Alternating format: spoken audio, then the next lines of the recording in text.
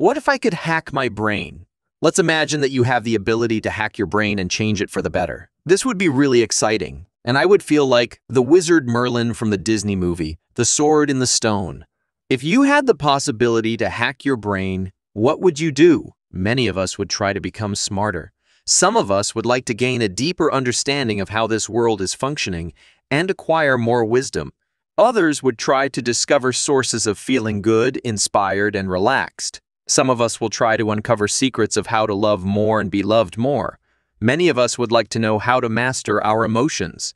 Instead of looking at how to hack our brain, can we try to do something less ambitious? For example, how to train our brain to serve us better?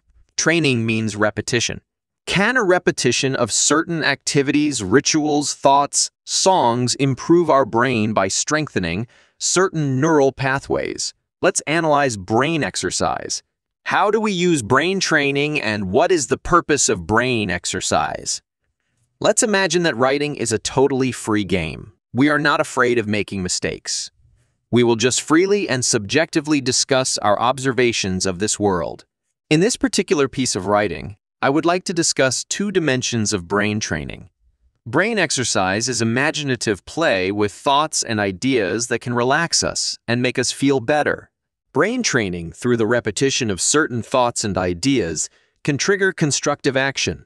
Each thought, idea, and experience, especially when repetitive, can change the structure of our brain.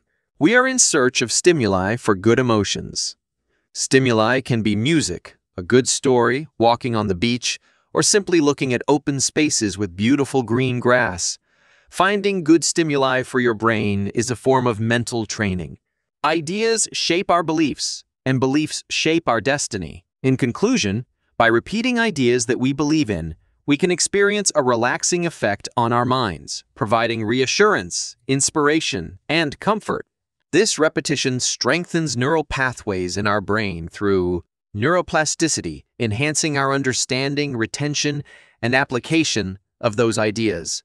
Utilizing brain training and finding stimuli for good emotions can shape our beliefs and ultimately guide us towards constructive actions aligned with our desired outcomes. Through mental training and repetition, we can optimize our brain's potential for personal growth and well-being,